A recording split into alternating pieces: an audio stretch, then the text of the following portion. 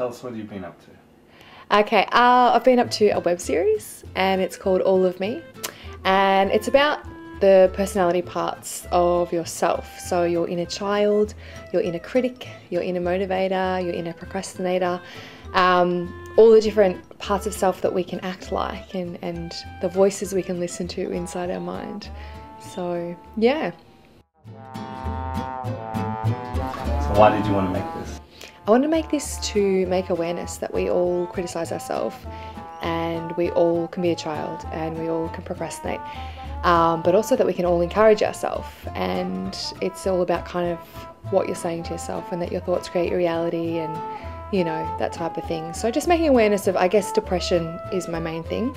Um, but, but also, you know, making awareness that we have a choice what to think, but we're just not aware of these voices that come in or, or that we can change what we're thinking. So, yeah.